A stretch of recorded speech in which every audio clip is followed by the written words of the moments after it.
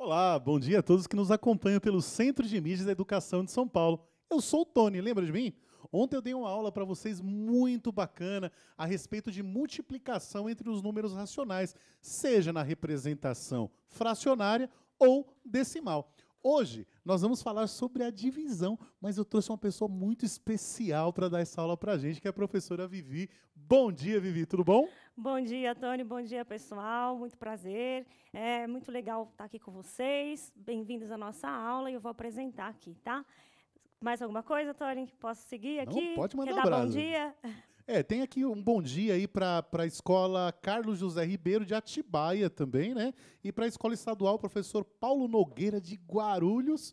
E para a escola, professora. Não, Escola Arlindo Aquino Oliveira, Mogi das Cruzes, a professora Raquel. Um bom dia a todos vocês que nos acompanham mais uma vez. Muito obrigado. Bom dia. Então, vamos começar com bastante serenidade, apresentar para vocês aqui a nossa habilidade do dia, tá? Nós não vamos trabalhar toda a habilidade, mas eu vou circular para vocês o que a gente vai tentar fazer com vocês, tá bom? Primeiro nós vamos resolver, elaborar não, tá? Hoje nós vamos só resolver situações, problemas com números racionais positivos na representação decimal. Decimal é aquele númerozinho com vírgula, né? Ele tem uma parte inteira. Opa, problema de caneta aqui. Ele tem uma parte inteira, né? E tem uma parte aqui com vírgula. Nós vamos falar desses números aí, tá? Especialmente os números que são exatos. Ele tem uma parte decimal que acaba ou que repete, tá bom? São esses. E também a gente vai falar não das quatro operações, mas nós vamos falar hoje das divisões. Cadê onde elas estão? Bom, por meio, acho que a gente não colocou a divisão, mas hoje mais em particular nós vamos falar da divisão, tá certo? Então vamos ver. É, nós trouxemos aqui para vocês um exemplo, tá? Eu quero discutir com vocês essa proposta. Eu quero dividir. Vou falar uma maneira informal, tá? 3,8 dividido por 0,04. A maneira correta da gente dizer esse número é tem duas maneiras, né? 38 décimos e 4 centésimos. A gente pode dizer assim. Ou também a gente pode se referir dessa forma. Ó, primeira parte é a inteira. Então, três inteiros, né? E oito décimos. Esta é a parte fracionária, tá? É bom lembrar isso. Então, uma fração ela vem para a gente com essa representação. Uma parte inteira, uma parte fracionária, né? uma parte de quebra. A gente costuma dizer também números quebrados, tá? E se ela tem uma casa decimal, ela é chamada de décimo. Se a gente tem duas casas decimais, como esse, a gente chama de centésimos. Deixa eu apagar isso aqui. E nós vamos fazer essa divisão, tá? Ó, a maneira que a gente lê 38 centésimos, a gente pode representar dessa maneira aqui, ó. Desculpa, 38 décimos, ó. Dividido por 4 centésimos. A maneira que a gente lê também é a forma com que a gente escreve na forma fracionária. É bom Muito lembrar. Bom. Por isso eu gosto mais de dizer 38 décimos do que 3 inteiros e 8 décimos, tá? Eu vou só decompor isso aqui, ó, queridos alunos. Quando a gente fala 3 inteiros, é a mesma coisa de escrever 30 sobre 10, né? Uh, 30 décimos, ó. 30 dividido por 10 dá 3 inteiros, mais 8 décimos. Então, a gente tem 38 décimos ou 30 décimos, que são 3 inteiros, mais 8 décimos. É tudo a mesma coisa, tá? São formas de representar. Então, o que a gente espera de você, aluno, é que você tenha esse pleno domínio de entender isso, tá? Um número fracionário, ele pode vir na forma decimal, que é com vírgula, ou ele pode vir na forma de fração, um número de cima sobre o um número de baixo o que vocês têm que entender é que todos esses números são resultados de divisões, tá? Números racionais vêm de raiz, de razão, de racionalização, de quociente, então vem de divisão. Todo número racional, ele é o resultado de uma divisão, tá Muito certo? Muito bom. Vamos então dividir isso daqui, tá? Então, na forma decimal, a gente faz assim, ó. 38 décimos dividido por 0,4 004 ou 4 centésimos. Primeira coisa que a gente faz é igualar as casas decimais, tá certo? Então aqui eu tenho 8 e aqui eu tenho 0,4 centésimos. Então o que, que eu faço? Ó, acrescento um zerinho. porque eu estou com problema de, de caneta aqui, né? Deixa eu apagar isso daqui. Ah, como eu apago isso? Borracha. Deixa eu ver aqui. Borracha, borracha. Isso, muito bem. Quando as casas decimais elas estão igualadas, eu me comporto como uma divisão comum. Ó. Apago a vírgula e aí está a nossa divisão. 380, opa, 380 dividir. Oh, apaguei aqui. Oh, eu estou com um problema técnico aqui, né? Então, ó, 380 dividido por 4, né? Esse 004 tinha uma vírgula, eu cancelei. Então, agora a gente divide 380 por 4. Nossa divisão se comporta assim, ó. Pega o 38 e divide por 4, não é isso? 004 é a mesma coisa que 4, é bom lembrar isso, tá? Então, é como se esses zeros aqui, os zeros no começo de um número, a gente pode desconsiderar, a tá gente bom? elimina. Vivi, a gente pode falar também que na hora de dividir, até para ficar mais claro, né, a gente pode também pensar quantas vezes o 4 cabe dentro do 38? É assim que eu vou é Bacana, a melhor maneira show. da gente pensar. Porque, olha, a gente vê o primeiro número, o 4 cabe no 3, a gente tem que entender que não, né? O 4 é desse tamanho para caber num pedaço menor. Então, a gente pega o maior. O 4 cabe no 38? Cabe algumas vezes. Vamos nos recorrer lá à tabuada do 4 e a gente vê que é o 9, né? 9 vezes 4 dá 36, cabe 36 aqui. Faz a subtração. Isso daqui acho que a gente já sabe, né? Tem número para abaixar? Ainda tem, né? Tem esse zero. Eu aconselho vocês marcarem o número que você vai abaixar, tá? Então, nós temos 20. Agora, o 4 cabe no 20? Ó, o 4 é desse tamanho para caber no 20. Né? Cabe, né? O 4 para caber no 20. Cabe algumas vezes. No caso, 5, tá?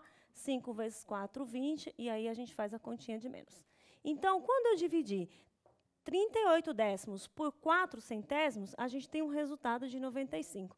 Então, todos esses números, eles são decimais, e todos eles são também racionais, tá? Vou apagar tudo. E aí, para vocês, vai ficar essa divisão aí, né?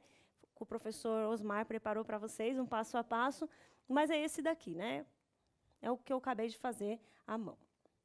Tá certo? Agora a gente vai pensar na forma fracionária, como que a gente faz essa divisão. É um Sim. pouco mais simples, eu gosto mais, ó. Então, eu tenho essa fração aqui, 1 um, é, um sobre 2, ou metade, né? um meio, a gente pode dizer assim, dividido por um terço. Como que a gente se comporta? Né? Na verdade, a gente não faz divisão de, de frações. Tá? O que, que a gente faz? A gente usa a inversão. A gente inverte este, a, a esta operação e, para compensar, a gente tem que inverter essa última fração aqui. Então, a gente pega a primeira, troca a divisão por vezes e, para compensar, a gente inverte a segunda, tá? Tem toda uma discussão aí que a gente faz. Ó, troca a divisão por vezes, agora a gente é mais experiente, coloca pontinho, né? E inverte aqui a segunda, a segunda fração. E aí é só multiplicar, né, conforme vocês viram ontem com, aula, com o professor Tony, né? E aí a gente vai ter o resultado, ó, 3 vezes 1, 3, e 2 vezes 1, 2. Muito bom. É mais o de tranquilo. cima pelo de cima, o de, O de baixo pelo de baixo. Muito legal, Ó, muito seria para fazer essa divisão aqui, ó, seria legal também se a gente tivesse feito em- na forma fracionária, ó, dividida por 4 centésimos. E aí a gente podia fazer assim, né? Sim, Inverte e aí fica mais fácil de dividir, de dividir, Exatamente. tá certo? muito bom. muito Então bom. vamos ver agora se a gente consegue aplicar isso nesse problema aqui. Opa, passei demais. Tem uma atividade para vocês que é para vocês primeiro a gente tem que eh, tentar entender o problema, tá? Tem muitos números, a gente não vai usar todos, ó. Tá assim, um determinado time de futebol já, rea- já realizou 4 quintos do total de partidas de um campeonato. Este mesmo time perdeu um terço dessas partidas. Sabendo que a metade dos jogos realizados foram no estádio do próprio time, ou seja, em casa, qual a fração dos jogos realizados na casa desse time? De novo, ele fez um total de 4 quintos Sim. de jogos, só que só metade ele jogou em casa. Então ele quer saber qual é a fração que representa a metade dos jogos. Uma coisa que é interessante também a gente lembrar é que esse probleminha ele foi feito ontem, tá? Só que a proposta dele é diferente hoje, tá bom? Não fique pensando que é o mesmo problema, tá? Ontem a gente utilizou os 4 quintos e um terço porque nós estávamos trabalhando com a multiplicação entre essas frações, tá bom? Hoje a gente não vai usar um terço, né, Vivi? Não, então é. vocês já conhecem esse problema, né? Sim. Então tá fácil. Vamos, acho que dois minutos para vocês darem para a gente a resposta e o professor Tony vai ler para a gente. Show!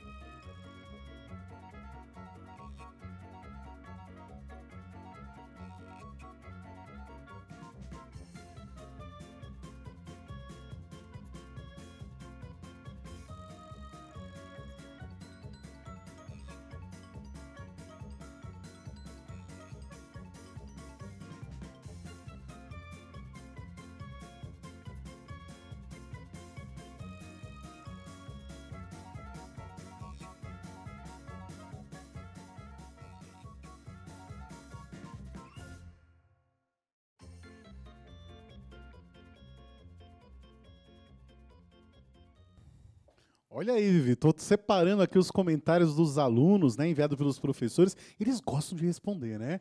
Tem bastante comentário aqui. Inclusive, a professora Cristiane disse parabéns para a professora, ótima explicação, muito bom. E a professora Noêmia falando que sempre falo para os meus alunos que quem sabe ler sabe escrever, né? Ela falando em relação à forma como se lê os números decimais. Em relação à questão aí, ó, é, professor, o professor Gabriel é, disse que os alunos gostam de responder, da Escola PEI Paula Santos, da cidade de Salto. A Esther Reis respondeu é, dois quintos e o Guilherme também. É, professor Marcos Roberto também indicou como dois quintos. É, a Lauane, professora Lauane, mandando a resposta da Alzira Vale Rolenberg, dois quintos também. E a professora Marisa é, da PEI Chiquinho, mandando para a gente a resposta também dois quintos, inclusive apresentou para a gente também a simplificação da fração. Perfeito. Então vamos ver o que, que é, acontece. Ó. Então ele jogou quatro quintos do total, só que desses quatro quintos apenas metade foi em casa. Então Sim. eu quero saber quanto é a metade desses quatro quintos. Né? Metade a gente a gente usa a divisão por dois, né? Sim. Pegar uma coisa inteira e dividir pela metade é a mesma coisa que dividir por dois. Então, tem essa representação. Oh, já veio tudo aqui. Vou fazer passo a passo. Ó. 4 quintos e eu vou dividir por dois. Eu vou fazer duas discussões, tá? A, a primeira é a gente vai usar aquele passo que a gente fez agora. Ó, quem não tem ninguém embaixo, dois inteiros é a mesma coisa que dois dividido por um, né? Sim. A gente não coloca mais existe, ele é um elemento neutro aí, né? E aí o que, que eu faço? Inverto a, a, divisão por uma multiplicação e, em contrapartida, eu compenso fazendo a inversão da última fração. Então, ficou assim, ó, 4 quintos, troca a divisão por vezes, né? E aí inverte a fração. A outra maneira que a gente poderia fazer era fazer direto, ó, metade, metade é a mesma coisa que 1 sobre 2, metade de 4 quintos. Chegaria direto aqui, né? Mas hoje a gente quer discutir como que a gente faz divisão. Então, vamos Sim. fazer esse passo a passo. E aí multiplico de cima pelo de cima e o de baixo pelo de baixo, como o Tony apresentou para a gente. Ó. Então, ficou 4 vezes 1, 4, e 2 vezes 5, 10. E aí a gente já sabe, né, que sempre que a gente tem uma fração e ela não está reduzida, a gente observa. Este número dá para dividir por alguém, em cima e embaixo? Existe uma fração equivalente que seja menor que essa? E aí a gente percebe o seguinte, ó, tanto 4 quanto 10 são números pares. E todos os números pares, eles são divisíveis por 2. Então, ó, eu faço essa simplificação, né? Essa redução aí nessa fração.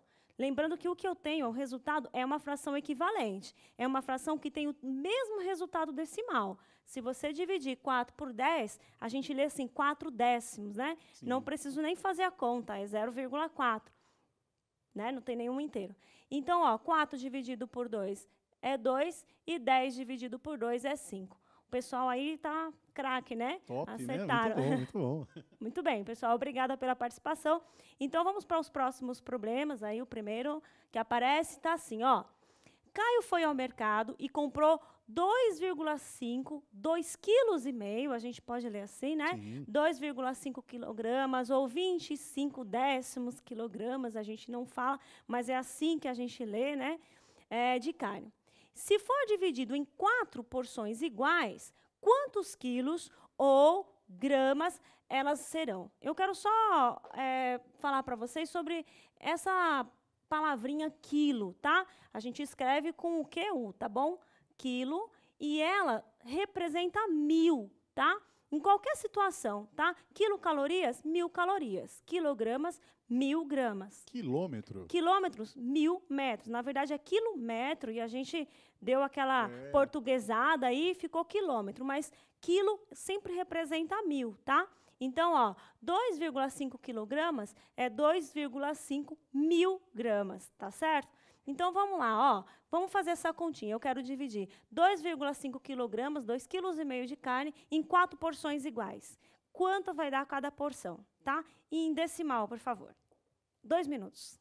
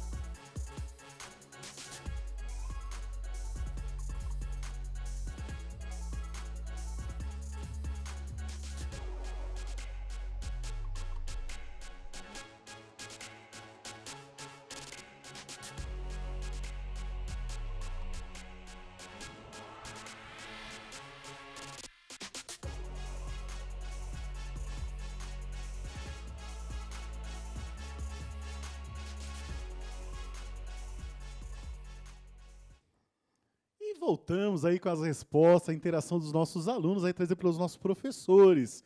Vivi, tivemos aqui muitas respostas aí diferentes, algumas certas, outras erradas, mas a gente aprende errando também, né, Vivi? E nós tivemos aí a participação da aluna Gleice, do sétimo D, da PEI Conceição Cardinales. Ela respondeu aí, no caso, opa, ela respondeu aí 0,625, né? Mais conhecido como 625 milésimos, né? Tivemos também a participação da Escola Estadual PEI, Dr. Prudente de Piracicaba, também trazendo a resposta para a gente em quilos e em gramas, né? Também os alunos da PEI Pedro de Melo entregaram para a gente a resposta 625 milésimos de quilo. Eles são de Piracicaba, né? Tivemos também é, a participação da Escola Estadual de Norá Ramos Brito, de São José, mandando um bom dia, dizendo aí que ótima professora. Olha aí que bacana. Também gostei, estou curtindo bastante a aula aqui, viu, gente? É, teve, tivemos aqui a professora Cristiane, não falou de que escola que é. Né? Ela disse assim: Bom dia, estou acompanhando. Qualquer dúvida, estarei auxiliando no privado. Então, os alunos aí da professora Cristiane, seria bom se tivesse mandado aí o nome da escola, né? Até para poder chamá-los aqui para te ajudar, professora. É, a professora Shirley, da Escola Roberta Maria Lopes de Guarulhos, Norte, mandou aí a resposta da Cíntia Carim, né? Falando que é 0,625 quilogramas. E aí, Vi, qual é a resposta correta? Então vamos lá, vamos fazer essa divisão? Ó, eu coloquei para vocês aqui 2,5, 25 décimos dividido por 4 dessa forma, tá? Então a partir de agora é melhor que a gente se adapte já a essa representação. Divisão a gente vai representar como fração, tá bom? Show. Mas que na verdade, né, o que a gente quer aqui é 2,5 dividido por 4, né? Que é a mesma coisa quando eu faço aqui com a chave para fazer a minha continha. Então, vamos voltar para o primeiro exercício que a gente fez lá no começo. Ó, eu vejo quantas casas decimais eu tenho. Ó, eu tenho dois inteiros dividido por quatro inteiros. Eu já tenho que desconfiar que não cabe. Sim. Então, eu vou ter uma parte fracionária, é isso que significa fração. Você vai ter que quebrar este número, você vai ter que quebrar o 4 para caber pedaços dentro do 2,5 kg, tá? Então, o que, que eu faço? Ó, eu igualo as casas decimais, porque 4,0 é a mesma coisa que 4, tá? E aí eu percebo, ó, eu tenho 5 décimos e 0 décimos, portanto, eu vou começar a minha divisão eliminando a vírgula aqui, ó e, portanto, a gente tem aí 40 dividido por 25, quer dizer, 25 dividido por 40.